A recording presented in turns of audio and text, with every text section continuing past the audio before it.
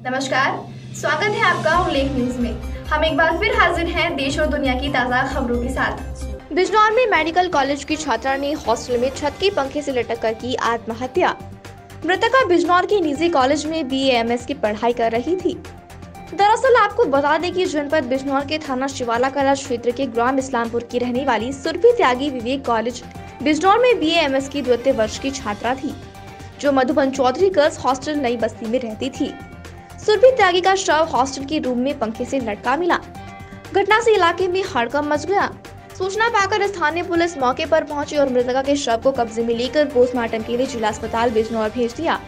वहीं घटना से मृतका के परिवार का रो रो कर बुरा हाल है। फ़िलहाल आत्महत्या करने की वजह का पता नहीं चल पाया है।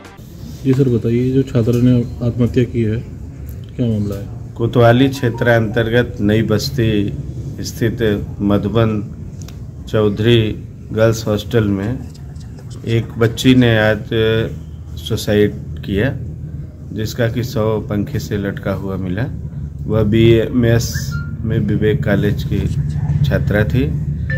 किस मानसिक पीड़ा से उसने इस आत्मघाती कदम को उठाया है, उसके बारे में गहराई से जाँच की जाएगी। सौ का पंचायतनामा भर के पोस्टमार्टम के लिए भेज दिया गया है। अन्य विधिक कार्यवाही जो भी तथ्य निकल के आएँगे, उनके आधार पर की जाएगी। आप देख रहे हैं उल्लेख न्यूज़। हर खबर पर पैनी नज़र।